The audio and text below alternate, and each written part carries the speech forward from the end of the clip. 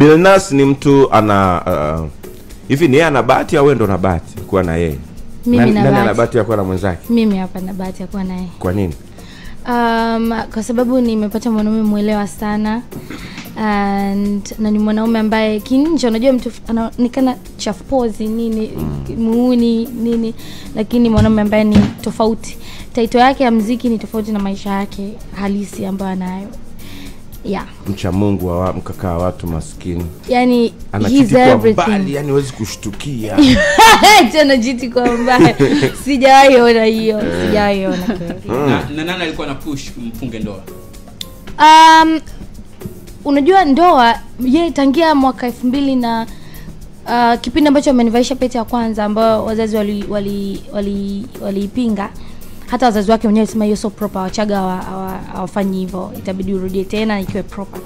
Alikuwa ananiandikia message labda au tukikaa ananiambia natamani nikuoe nataka nikuoe nataka nikuoe. Lakini mi kwa kipindi hicho sikuwa tayari bado.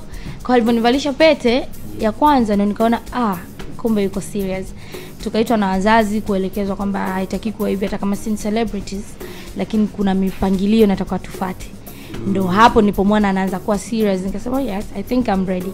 Kwao nikisafiri hata hata kuniita ile baby ikawa imebadilika ni mke wangu mke wangu. Yani tumeenda mke wangu mke wangu naona okay anamaanisha. Na alikuwa ananiandikia message nikisafiri mke wangu remember i want to marry you i want to marry you. Mpaka akatimiza lengo. Wewe nice. No. so, uh... Ah. rotimi fulani